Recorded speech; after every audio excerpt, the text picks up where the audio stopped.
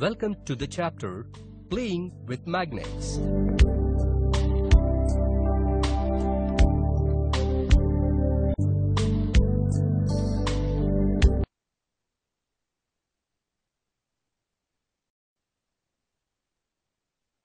Let us do an activity to find the objects that get stuck to the cap of the pin holder.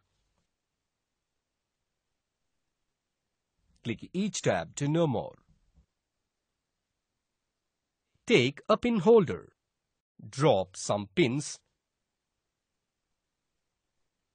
gem clips, iron nails,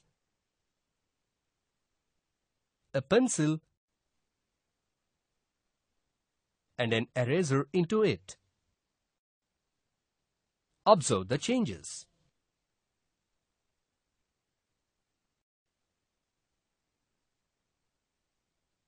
In this activity, we observe that some of these objects like pins, gem clips and nails stuck to the top of the pin holder while the other objects like paper, pencil and eraser fall into the pin holder.